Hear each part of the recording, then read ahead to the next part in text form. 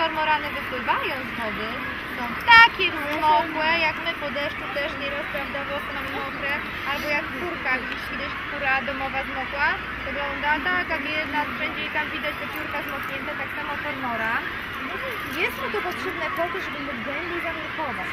Bo gdyby był, miał takie piórka jak kaczka i łabędzie na y, tłuszczone piórka, natłuszczone substancją wodoodporną, to wtedy nie byłby w stanie głęboko zanurkować. A ryby po pierwsze tak poszczególnie pływają, tak?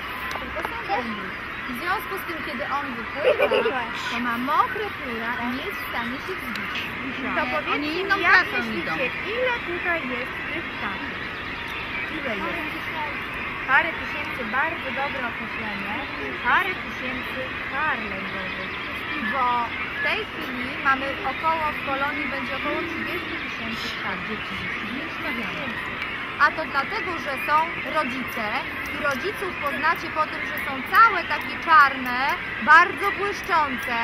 Natomiast tam już widzicie na gniazdach takie kiwające się tak nieporadnie trochę. To są młode kormorany. One przyszły na świat teraz na początku maja, pod koniec kwietnia i mają około 4 tygodnie.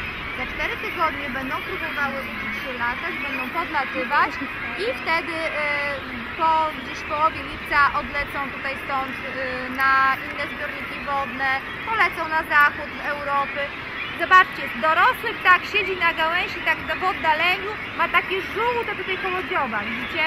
Tak, tak. I otwarty dziób ma, bo w ten sposób wentyluje sobie i się ochładza, bo no, tam jest bardzo gorąco.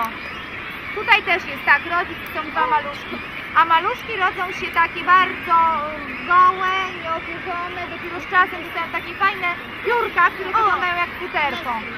Czemu ich tak jest dużo? Dlatego, że kormorany y, mieszczą się zawsze w koloniach, czyli takich y, liczebnych jakby miastach, byśmy powiedzieli, bo to zapewnia bezpieczeństwo. W momencie, kiedy się pojawi jakiś drapieżnik, wtedy zrywa się wiele ptaków, odprzedzania go, taki jest alarmujący. Bezpiecznie jest po prostu w kolonii. Jest ich tak dużo tutaj dlatego, że po pierwsze mają doskonałe warunki do zakładania gniazd, bo jak widzicie drzew jest u nas na całe mnóstwo. Druga rzecz to jest taka, że mają tutaj bardzo dużo ryb, bo mają zalew wiślany, przez który jutro będziecie płynąć i być może zobaczycie polujące kormorany. Mają Zatokę Gdańską, mają ujście Wisły, także jeszcze dużo, dużo różnorodnych takich zbiorników wodnych na, żuraw, na żuławach, na których mogą em, pływać e, i łowić. A potrafi kormoran polecieć nawet 50 km w promieniu po to, żeby sobie nałowić ryby. Rybki przynosi w wolu, takim rozszerzeniu tutaj swojego gardła. I tam widzicie, a tu jak, jak pilniejsze, jak maluchy wsadzają mamie, czytacie głowę do gardła, do dzioba. Tutaj właśnie jak są malutkie, to z prawej strony tam się tak trzepocą. Oj, tutaj też jest też gardła. O, tu, tu na tym A też, jest gardła. też, tak, że No, otwarte obserwujcie. Także one są teraz takie bardzo wypasione, można powiedzieć najedzone. Były już tutaj e, od dawien dawna, tylko były przepłaszane, wiecie, dlatego że człowiek też lubi ryby uważa, że kormoran jest dla niego e, konkurencją, że wyławia duże ilości ryb, ale naukowcy przeprowadzili badania i okazuje się, w głównej mierze kormoran je ryby, których my nie spożywamy. Jest to jazgarz i babka bycza. Jazgarz to jest taka drapieżna ryba, która e, występuje w zalewie wiślanym, natomiast babka bycza to jest takie stworzonko, które przywędrowało do nas w zbiornikach balastowych. Statków z basenu Morza Czarnego, no i się roz, rozmnożyła tak, tak dalece, w takiej ilości, że kormorany po prostu mają jej tyle. Były czasy, kiedy ryby były bardzo duże i kormorany były nieprzyzwyczajone do widoku człowieka, więc pluły tymi rybami, dały na wszystkich, bo kormorany wypluwają w postaci takich wypluwek, czyli takich kulek obłonianych, niestra- niestrawione ości, tak?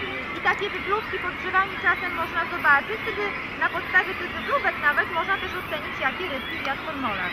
Kormorany są leciutkie, słuchajcie, maksymalnie do 2,700 mogą takie się 2 kg 700 gram, także takie są e, chudziutkie, ale nie są wcale małe, bo jak się takie porządnie wymierzy, to mają 90 cm długości od dzióbka do stópek, także są e, takie No, metrowe, to długie. nie wiem czy wiecie, być może nie słyszeliście o tym, ale kormorany w krajach właśnie tam dalekiego wschodu jeszcze dzisiaj są wykorzystywane, chociaż pewnie więcej już bardziej dla pokazu dla turystów, do połowu ryb. Bo to są wytrawni łowcy. Zakłada im się taką ciasną obręcz na szyję i nocą wypływa się na łowy, bawi się ryby e, światłem latarki, kormoran łowi, wypływa z taką rybą, e, rybak wyciąga i dalej kormoran łowi. Aż nałowi tyle ile trzeba i wtedy zdejmuje mu tą obrażę i kormoran łowi dla siebie. A kormoranów, kochani, jest 8 tysięcy par dorosłych ptaków. Czyli 16 tysięcy dorosłych ptaków. A teraz powiedzcie mi, jak myśmy je policzyli? Przyjrzyjcie się drzewom. Co roku mamy inny kolor wstążki. I wiążemy każde drzewo, na którym są gniazda. Potem na tej wstążce zapisujemy sobie numer drzewa, łamane na ilość gniazd i to samo zapisujemy sobie na kartce. Tak, I potem jak sobie zliczamy, to wiemy ile jest gniazd właśnie tych ptaków w ciągu roku. Tak, bo tu na niektórym drzewie są po dwa... Oczywiście są dwa, mieliśmy sosnę rekordzistkę, która miała 26 gniazd, ale niestety po trzech latach nie wytrzymała Ale jednak. Bo, bo wasz kolega zauważył jeszcze takie białe listki. Jak myślicie, co to jest? Tak jest, kubki, a ładniej mówić odchody ptasie albo łano ptasie. I moi drodzy, y, to y, tych, tych odchodów jest tak dużo, są takie bardzo silnie żrące. Przy naborze siedlisko tutaj rośnie, najlepiej się czuje pokrzywa. Pio- y, leśny to jest ta trawa tutaj, widzicie, taka sztywna. I taka y, roślinka bezkoralowa. Taka sosna jest w stanie przeżyć y, 3-4 lata i potem już staje się sucha. Ale kormorany wykorzystują ją tak długo, jak jest w stanie utrzymać gniazdo, jak stoi. I co ciekawe, zaobserwowano, że jak drzewo się zawaliło w danym roku, to gniazda nie miało. Czyli one widocznie po prostu powracają na to samo gniazdo, wyczuwają e, w jaki sposób e, Warto zakładać warto czy nie. Tak, rzadko kiedy drzewo, które się zawali ma gniazdo.